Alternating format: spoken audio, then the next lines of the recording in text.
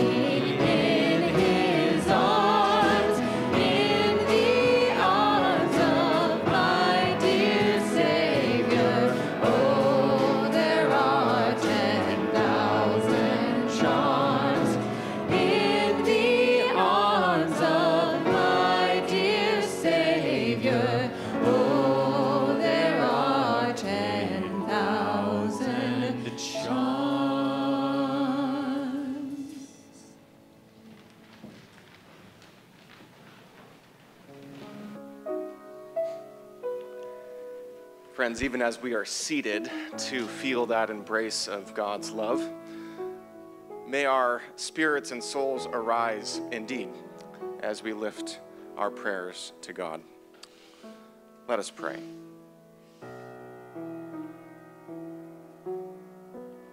God, our Maker, in summer we easily marvel at the world you have made.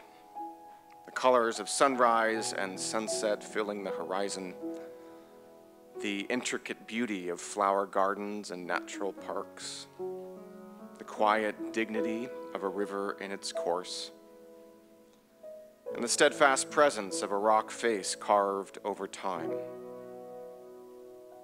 You show us how each small piece of your creation depends in many ways on all the others. Summer growth depends on spring rains. Health for each creature depends on the wise balance you have set between each species. The quality of life on the respect we show one another. Wise and patient God, we marvel at the world you love. Our worship joins the songs of all creation to bring you praise, honoring you and the relationships you have set between us all. Through Christ, firstborn of all creation. Amen.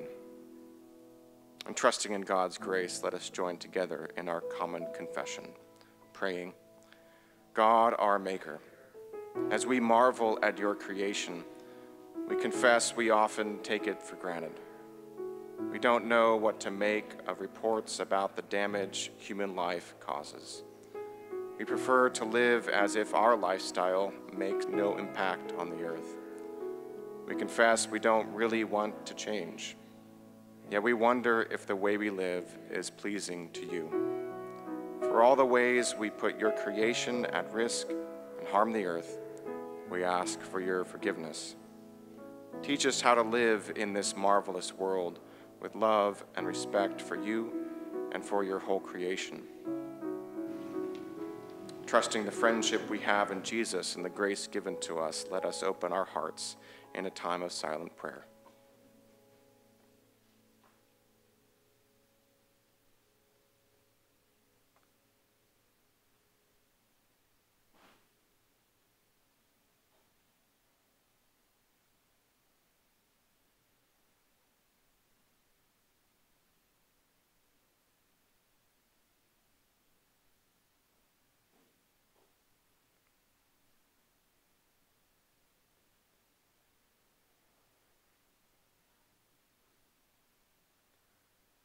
Friends, hear and believe the good news. Colossians proclaims that in Christ the fullness of God was pleased to dwell.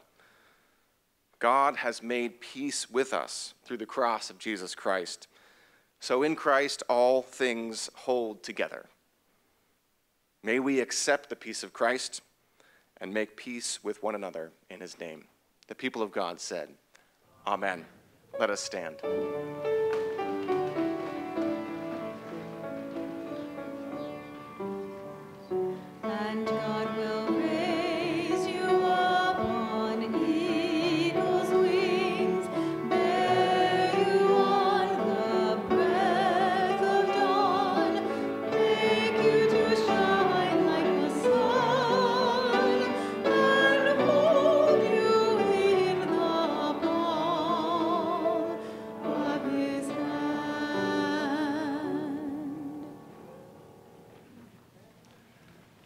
peace of Christ be with you.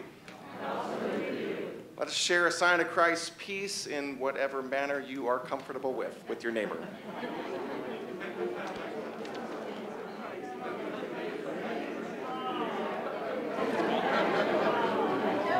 I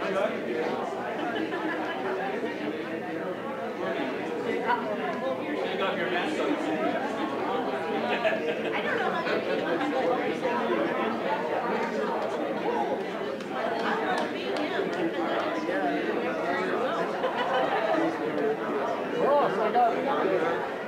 Friends, this is the day the Lord has made. Let us rejoice and be glad in it. Good morning.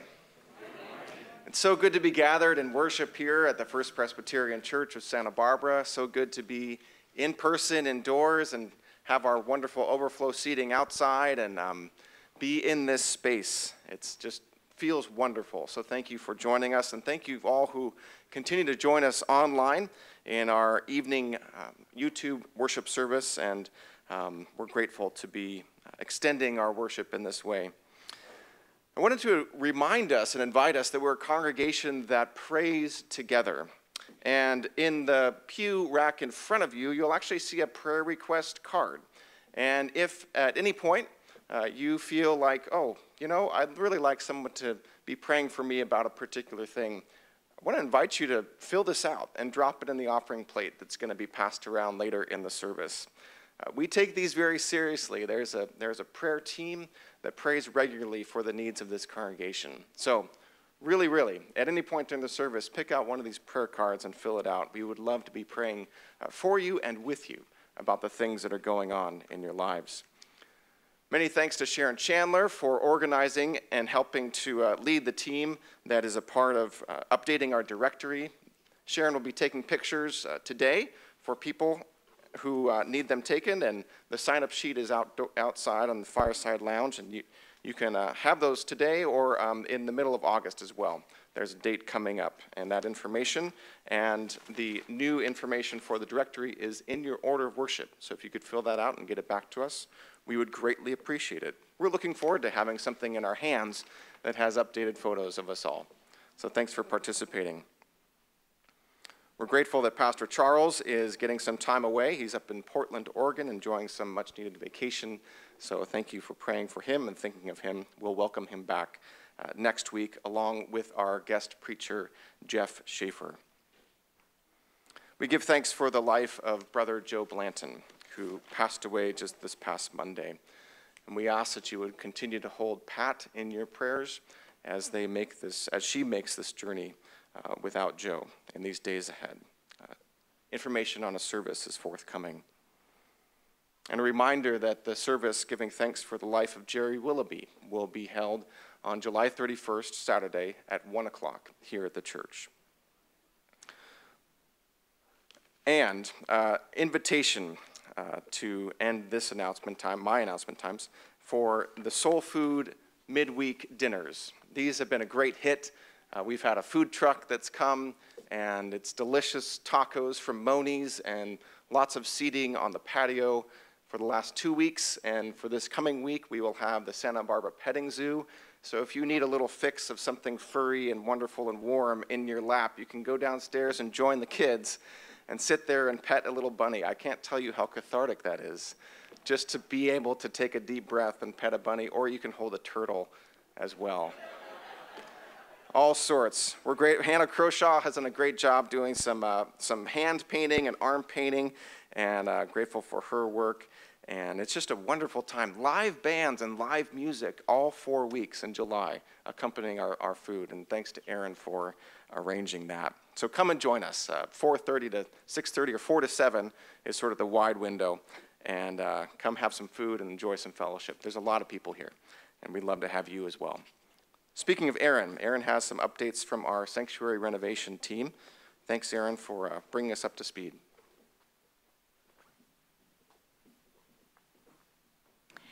I am Erin Bonsky Evans, your Minister of Music, and today I'm here to announce some exciting developments on behalf of the Sanctuary Renovation Team. Since we have been worshiping indoors, you may have noticed some distinctly familiar seating that has made its way into the CFC. Of course, we all know these are some of our pews from the sanctuary. They have been carefully and gingerly relocated for use in our current worship while we work on some subtly wonderful upgrades to our sanctuary for our future worship together. The word sanctuary is defined in the dictionary as a place of refuge and safety, a feeling we are deftly familiar with when we reflect on the experience of our worship together at First Pres for the last 150 years. We are so grateful that we steward that heritage of our great sanctuary into a legacy for the future of our worship here at First Pres. And I have the distinct pleasure to serve alongside the other members of our team, Fred Marsh, Eric Wiebe, Paul Tarasic, Chuck Curtis, and Steph Olson to do just that to preserve the wonderful legacy of our past while gently shepherding our facility into the future through subtle improvements that will enhance our worship and community for many years to come. These improvements include upgrades to our audio system, which has largely been completed at this time, installation of a hearing loop, video cameras to record our worship services and events, and new lighting and flooring, the same colors, the same sanctuary, just refreshed and ready to house and facilitate our worship. You can think of it as a spa treatment of sorts, or a nice thorough detailing of your car, inside and out. We have signed contracts and will begin work in the next several weeks, starting with some light carpentry and electrical work to set the infrastructure while we wait for materials to be delivered. We are extremely grateful for the generosity of all of you, our donors, who are making these much needed renovations possible. I want to give a very special word of thanks to Bill Wagner, who is here today. Um, Bill Wagner pledged a wonderfully generous gift to ensure there were enough resources for us to accomplish our goals. Thank you so much, Bill. If you would allow, uh, if you would like to know more about, yes, let's, yeah.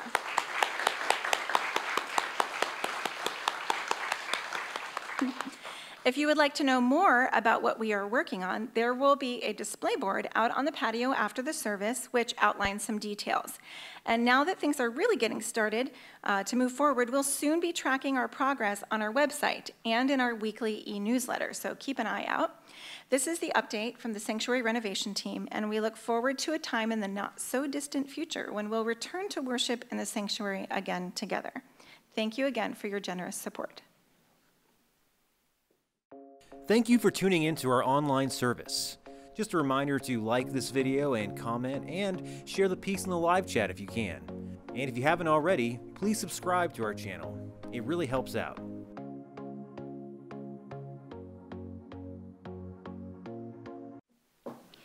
Please pray with me the prayer of illumination.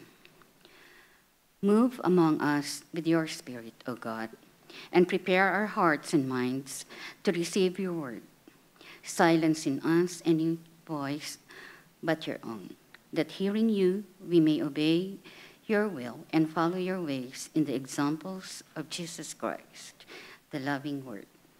Amen. The reading for today is taken from Jeremiah chapter 23, verses 1 to 6. Woe to the shepherds who destroy and scatter the sheep of my pasture, says the Lord. Therefore, thus says the Lord, the God of Israel, concerning the shepherds who shepherd my people. It is you who have scattered my flock and have driven them away, and you will not attend to them. So I will attend to you for your evil doings, says the Lord. Then I myself will gather the remnants of my flock out of all the lands where I have driven them, and I will bring them back to their fold, and they shall be fruitful and multiply. I will raise up shepherds over them who will shepherd them, and they shall not fear any longer, or be dismayed, nor shall any be missing, says the Lord. The days are surely coming, says the Lord, when I will raise up for David a righteous branch, and he shall reign as king and deal wisely, and shall execute justice and righteousness in the land.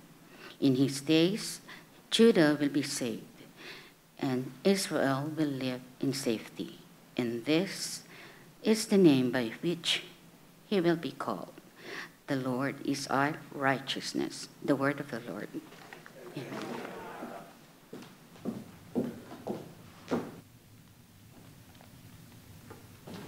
One of the many things that feels so good to be back to, besides in the room, is to some familiar practices that we have, one of which is singing our psalm. So we're going to sing our song responsively today. How about that? Psalm 23 is our psalm. The refrain is written in your worship folder. You can remain seated, but let us um, sing these wonderful scripture songs together.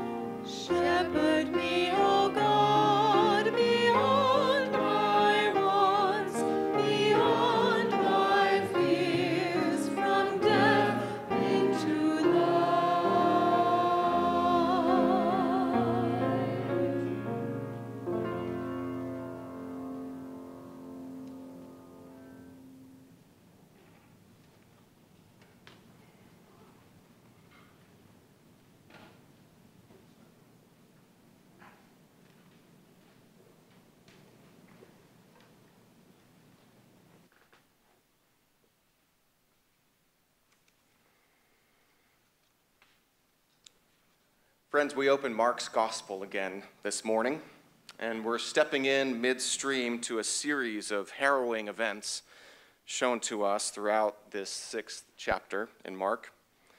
The chapter started with Jesus sending out his disciples, the apostles, in order to extend Jesus' ministry. They were given his power to heal the sick, to speak the truth, to speak the truth in love and to speak it in a way that lies and deceptions and all that suffocates and strangles health and wholeness is cast away, which is them casting out demons. They do the same kind of work that they have witnessed Jesus himself do. And for most of the chapter, that's where they are. They're out doing that work. The interlude, the fearsome interlude in the chapter, is John the Baptist, the great forerunner of the Messiah, is cruelly beheaded. Among other things, this beheading goes to illustrate how, in this chapter, the followers of Jesus who are all in, like those disciples who are sent out to preach and teach and heal, if you're all in, you are not guaranteed safety or kind treatment. Quite the opposite, actually. you should expect opposition from a cruel world if you are all in with Jesus. Being a disciple of Jesus is not the easy road. We hear in this fearsome interlude of John's beheading a kind of waiting and expectation for the resurrection work of Jesus to, made, to be made known in dark times. So, this morning in our text, the disciples now return to Jesus. Those who have been sent, the apostles, come back. They've ministered among the regions, they were scattered, and now they relocate. They are road weary, they're tired, and they're eager to tell Jesus about what they have seen and what they've done. Interestingly, the lectionary text highlights what highlights what happens in these verses and it skips over what we think of as the major content here the feeding of the 5,000, the miracle of Jesus walking on the water and calming the storm. No, today we just have these two little snippets of text to reflect on, and I think it's for good reason. So, would you pray once more with me? Lord Christ, we wait and we watch and we listen now for your life giving word. Your presence and your words are why we've come. So we ask your blessing and the work of your Spirit to unfold. Shepherd us, we pray. In Jesus' name, amen. From Mark chapter 6, verses 30 to 34, and then 53 to 56. Let us hear the word of God. The apostles gathered around Jesus and told him all that they had done and taught. And he said to them, Come away to a deserted place, all by yourselves, and rest a while. For many were coming and going, and they had no leisure even to eat. And they went away in the boat to a deserted place by themselves. Now, many saw them going and recognized them, and they hurried there on foot from all the towns and arrived ahead of them. And as he went ashore, Jesus saw a great crowd, and he had compassion for them, because they were like sheep without a shepherd. And he began to teach them many things. When they had crossed over, they came to land at Gennesaret and moored the boat. And when they got out of the boat, people at once recognized him and rushed about that whole region and began to bring the sick on mats to wherever they heard he was. And wherever he went, into villages or cities or farms, they laid the sick in the marketplaces and begged him that they might touch even the fringe of his cloak. And all who touched it were healed. The word of the Lord. Thanks be to God.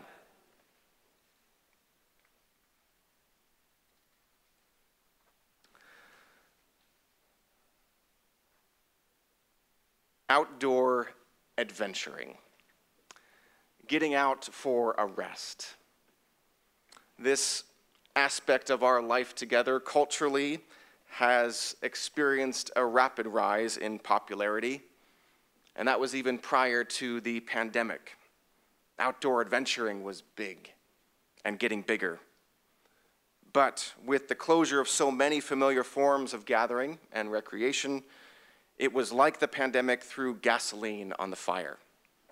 Everyone, almost everyone, it seems, wanted to get away to a deserted place and rest a while.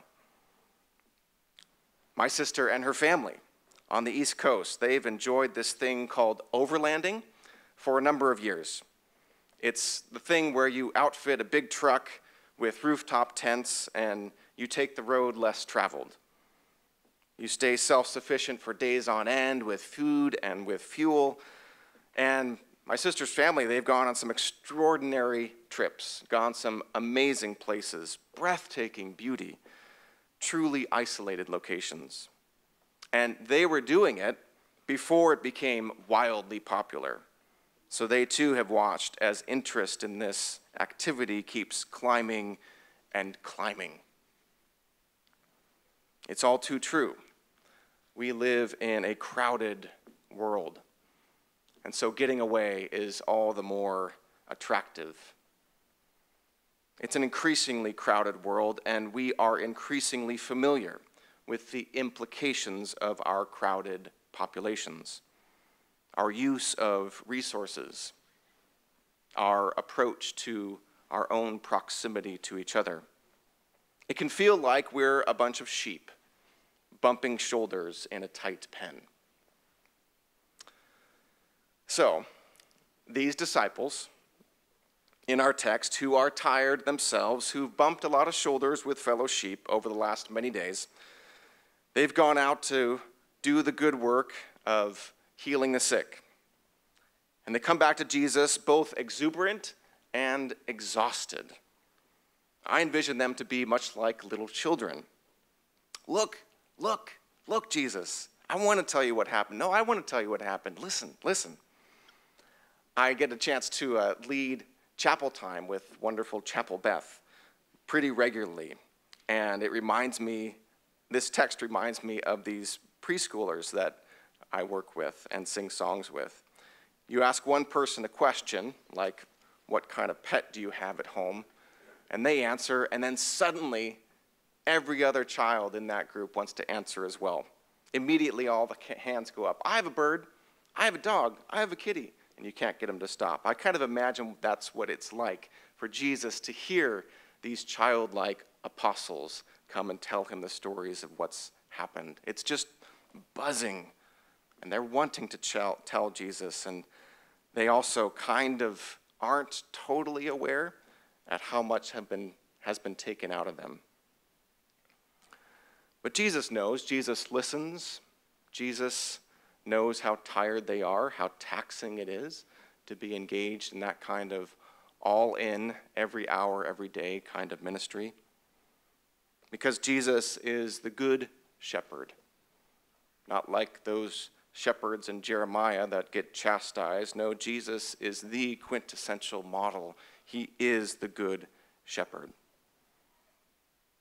And without the text even telling the story of the feeding of the 5,000, we see Jesus shepherding these disciples who've returned. He shepherds them with love and compassion and great tenderness. Jesus knows what they need when they need it. Come away to a deserted place all by yourselves and rest a while. It's a beautiful four part invitation, it covers all the bases.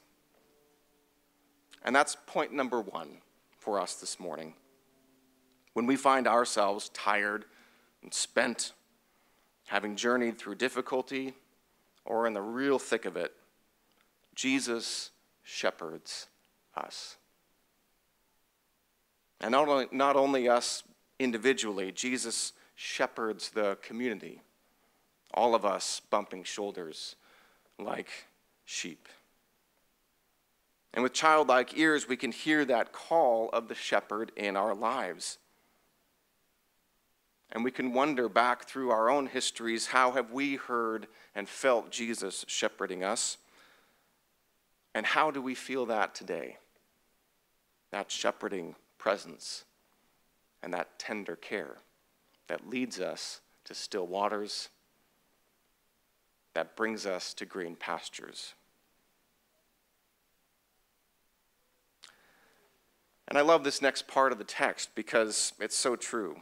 What happens when we're heading for rest and restoration, when we see the green pasture just ahead, but the best laid plans get foiled? It happens in the text. How many times has it happened to you?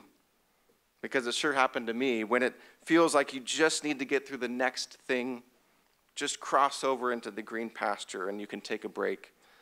But right at that moment, you're headed to that point of relaxation and release, and something comes in from left field, and you've got to regroup. It's amazing that this is a truth that's witnessed in this text. the disciples are, are headed in that direction, but the crowd meets them there. Their silence, their quietness, their rest, utterly interrupted. Jesus' intention to care for the welfare of his disciples is clear, and we, we believe it happened eventually. They got there, they got to a place of restoration, but the needs of humanity come streaming in. They come crowding in and pressing in, and Jesus, who himself is very tired, finds it possible to respond with compassion. It's an amazing scene. The disciples and Jesus just sitting serenely in this boat. I don't know how you picture it, but I picture the water being calm, the blue sky and the clouds overhead. They're just, they're just glad and reveling and ready to go to this quiet place and be restored. But all around the edges of the lake and the surrounding towns, people are just buzzing. They've heard about this Jesus who speaks with authority and the spirits obey him, and his words carry the weight of heaven, and his light casts darkness out. And as soon as they glimpse Jesus in the boat, they're just itching to be near him and have him attend to their needs. The text says, there at the shore, they begged Jesus. Wherever Jesus went, they begged Jesus. In Greek, it's an amazingly wonderful and diverse word. The word is parakaleo, which means coming alongside or to call to one side. So they were calling to Jesus, Come alongside us, please. And it's used in multiple times in Scripture for the ways that Jesus is called to. The leper calls out, parakaleo. Jairus, the synagogue leader with the, sinner, with the sick daughter, calls out, parakaleo. Jesus, please come alongside.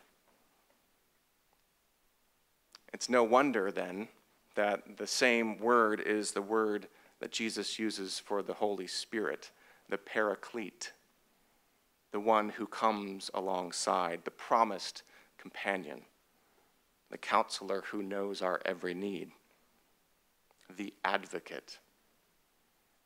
This word in Greek is so rich and wonderful, we could dwell on it for a long time. It's in John's gospel that Jesus promises to send the Spirit, the one who will walk beside us, the one who will come to our aid. They begged Jesus, parakaleo, come alongside and he did. Will you please companion me? Is the cry of their hearts, and in some ways is the cry of every one of our hearts in different seasons of our lives. Can I be in your presence, O Good Shepherd? Can I hear your voice, not the drowning, shouting voices of this world? Can I have you attend to my needs? Please companion me, come alongside. When we operate from that place where we're open and honest about our dependency, we take on the name of Jesus.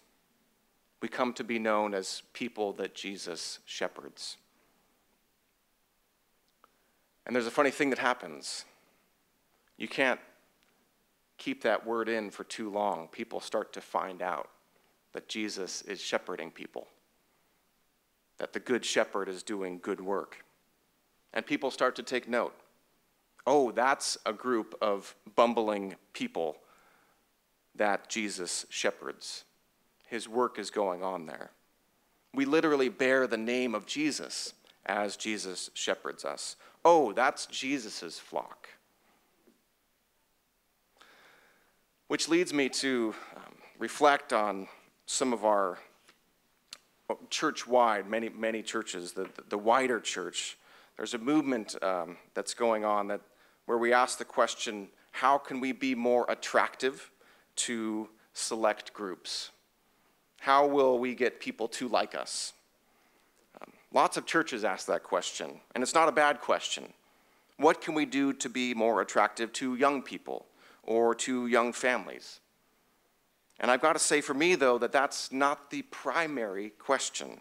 The primary question is the one we just heard How is this congregation, this community, bearing the name of Jesus? How are we being known as the flock Jesus shepherds? And how do we witness to that? Because that's the most primary thing. It's not about us picking up a bullhorn and shouting anything in particular. It's about the fact that Jesus, when Jesus' work is done, you can't keep it in. People come running. There's a commentator, Pete Perry. He says this, and I wholeheartedly agree. When a congregation bears Jesus' name, all sorts of people come seeking healing. People who are sick, people suffering from addictions, people who experience mental disturbance, people who are poor, people who are powerless, people who are considered socially or religiously unacceptable.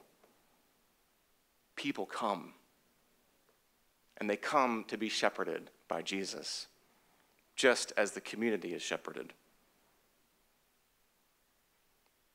In the text, the people stream in because they know this to be the group of fragile human beings that are shepherded by Jesus. They know his trustworthy voice and they respond. And all sorts of things start happening from there. It's the place of security the sanctuary that we talk about, the feeling of safety, the absence of fear, that place of security, knowing the shepherd's voice, and that's the place from which we are sent out. We dare not go unless we go from that place, because we are sent to engage a broken and a hurting world, not with our power or influence, but by the power of the Spirit. The broken issues of people then are brought into the midst of this flock that Jesus shepherds. And they are manifold and many and unceasing, it seems. Broken issues come streaming in. School systems struggling to educate, social services overwhelmed, prison systems complicit with dehumanizing practices, political systems bending towards injustice, it all comes in like a big, blundering mess. All of it calling out for a good shepherd to guide it and lead it. And we, as the sheep of Jesus' own fold, get called to engage the pressing issues of the day in our community, in our world, in the global picture. That's why we're connected to global mission partners throughout the world so that we can stay connected and hear how God is working. And we come to understand more fully what it means to bear Jesus' name. That's the flock that Jesus shepherds. And I admit that the needs for compassion can be overwhelming. They come crowding in because it's a crowded world. But the assurance and the promise is this that we have a good shepherd who is sorting it out. That's the shepherd's work to do. And he invites us to be sorted out ourselves so that we can bear his name into the world. So, the message of the text today is the importance of hearing the shepherd's call to rest, to take a breath when it's needed, to find relief in him, and to trust him, even if that relief gets set off a little further. When we find ourselves in Christ, his work is borne out in this world. You know, the text says the people were desperate to touch just even the fringe of Jesus' clothes.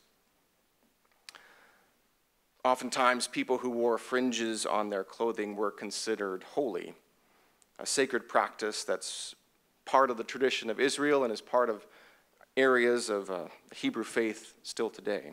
The fringe of the clothing being a representation of the holy. And indeed, Jesus bore heaven into this world and all the power of it. So we'll end on this note. As a church of Jesus Christ, people who come to this community, we bear the name of Jesus. We recognize God's power here, the, the shepherding of Jesus. And in so many ways, we are the fringe of the clothing. We've been known as the church to be the body of Christ. And I'd like to extend that and say we're, we're the clothing of Christ too. And we're the fringe. People long to touch even a piece of Jesus. And when they do, they are healed. So, as people who know that power, may we continue to be shepherded by Jesus this day and in all our days ahead. Amen. Would you pray with me?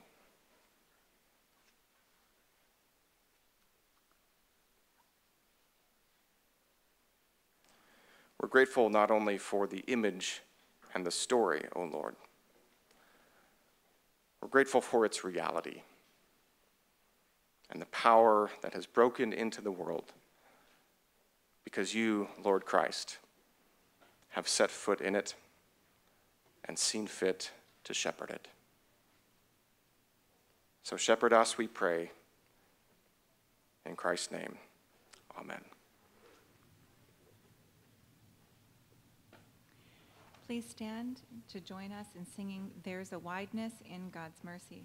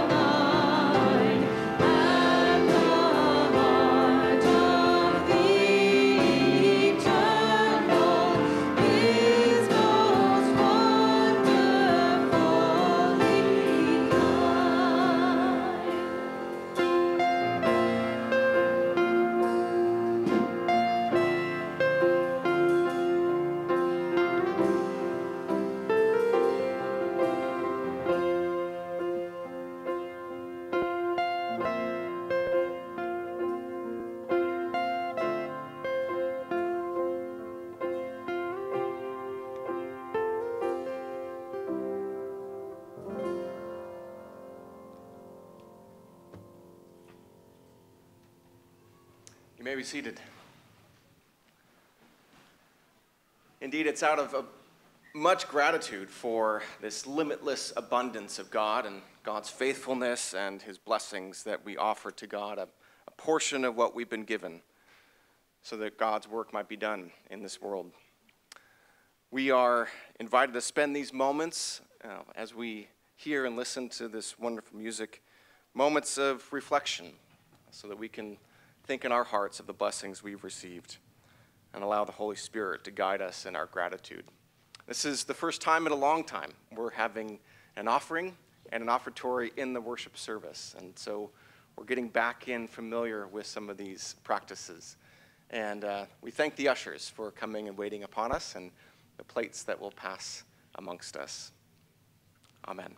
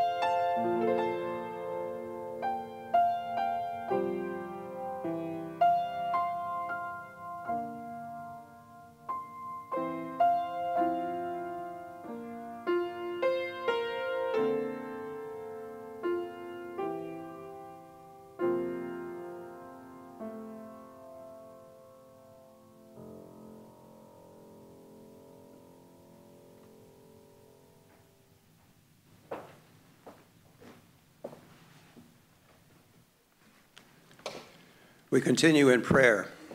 Uh, please pray with me. This is a responsive prayer. When you hear, God, in your mercy, we respond, hear our prayer. So let us pray.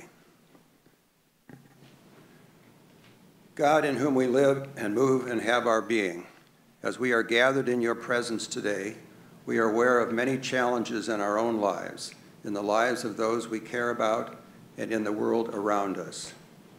Thank you for your faithfulness to each of us and to your whole creation, given all that we share and all the different situations we face.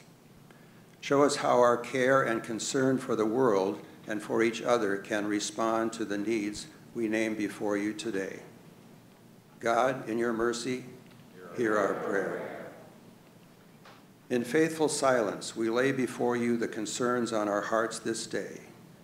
We pray for those suffering from flooding in the eastern half of our country and in Europe. For the victims of fires in the western states and for the firefighters for those in our nation coping with excessive heat, especially the poor and elderly. And for fellow Christians suffering persecution in so many places around the world, God, in your mercy, hear our prayer. We pray for those who are suffering in our community and for those who are ill and those who are bereaved. those struggling to make ends meet or find the right job, those who are lonely and those who are moving in, moving and in need of new friends, those struggling to find housing in this expensive city, and those families divided by politics. Bless their efforts toward reconciliation. God, in your mercy, hear our prayer. We pray for our pastor nominating committee and its seven members. We pray for our congregation as we emerge from the pandemic and yet are concerned about a potential return to it. Help us see where, you where you call us to reach out with your love and generosity, sharing the faith we have in you. Equip us to meet every challenge we face with hearts full of faith and commitment. And now we pray as Jesus has taught us, saying, Our Father, who art in heaven, hallowed be thy name. Thy kingdom come, thy will be done, on earth as it is in heaven. Give us this day our daily bread, and forgive us our debts as we forgive our debtors.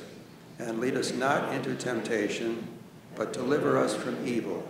For thine is the kingdom, and the power, and the glory forever. Amen.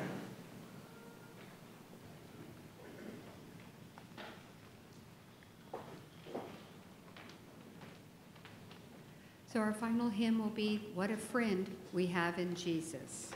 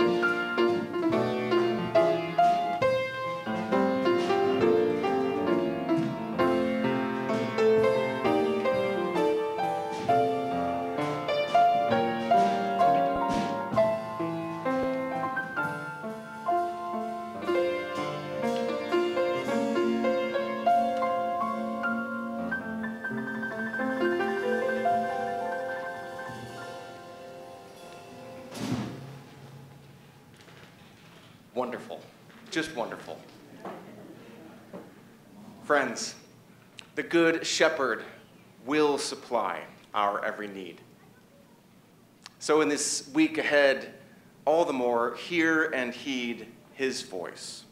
He has the life and the healing that we're longing for, and it's the same thing the world is longing for as well. So, may the Lord bless you and keep you.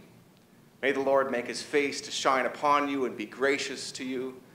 May the Lord lift up the light of his countenance upon you and give you peace. May the grace of our Lord Jesus Christ, the love of God, and the communion, fellowship, and counsel of the Holy Spirit be with us all, both now and forevermore. The people of God said, Amen. Amen. Let us be seated and prepare to go in peace.